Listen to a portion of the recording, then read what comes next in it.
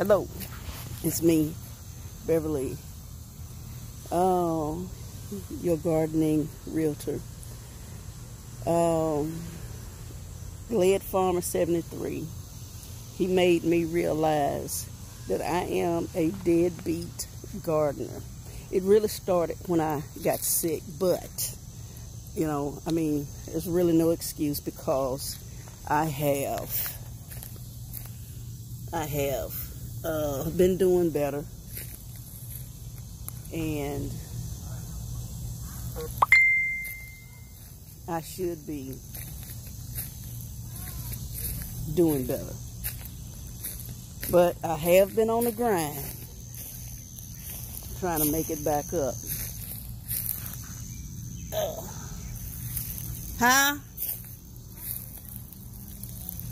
Since I have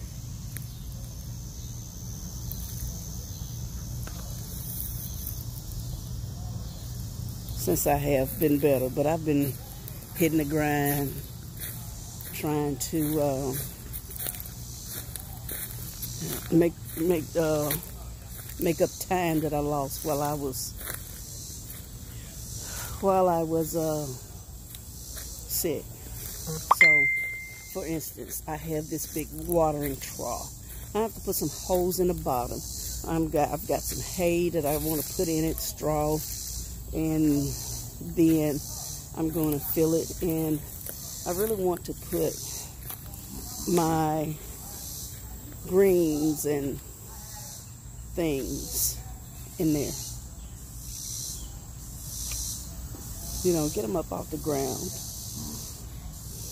So I have to get a drill bit that's going to do that. And Yeah, I'm a deadbeat gardener. Deadbeat. Crying ass damn shame. Y'all see that Thai basil? I did a lot of weeding this morning and I did some some um,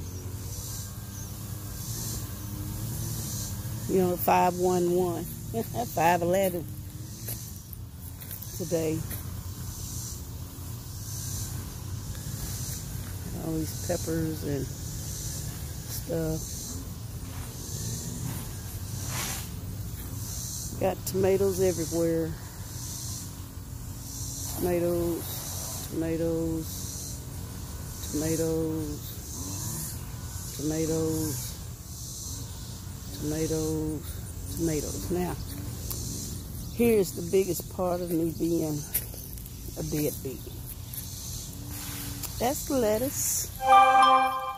And when I went and tried to pull some of it up, got ants all over the place. And this is broccoli and cauliflower. It's supposed to be greens. There's some kale in there somewhere. Yeah. I've become a deadbeat gardener. Yes, I have. So much so that I've got to get something and spray that infection, infestation. So,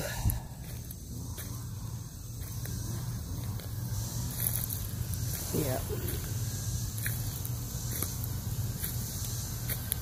See how tall that blackberry has gotten? Yep.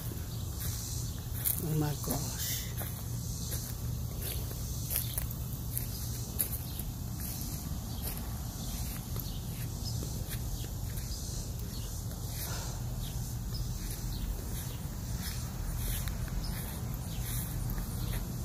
I sprayed some peppermint oil on here. This is um said a sweet million. This is a yellow cherry and that's a black cherry that I grew. I've had to replace it twice because big dummy me, I didn't put the uh, the sticks around it and the the cutworms just cut it off. And this is the other cherry. And it's growing up. Just like I want. It's growing up and around. But anyway, don't become like me. This is atrocious. Look at that. So I'm just going to cut all that off and let it do its thing. Gotta figure out why that's not growing any better than it is. These are my two plums. But anyway,